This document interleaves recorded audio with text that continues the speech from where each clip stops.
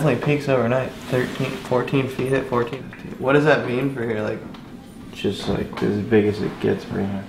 Sucks because by the time we wake up, the forecast could be different. gotcha.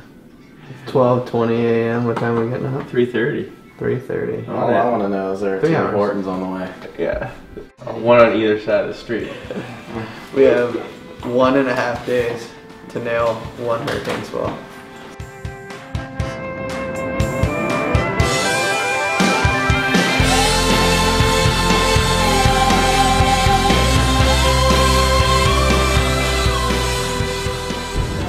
Just woke up at three in the morning and drove about four hours. Just almost fell asleep at the wheel, but it was worth it.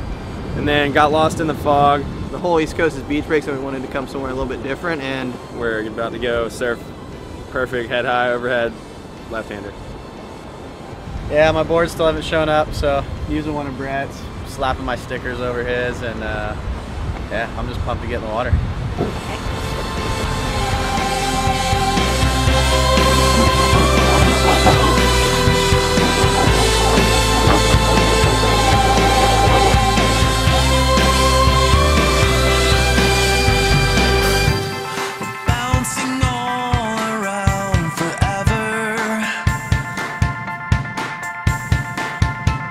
like a child.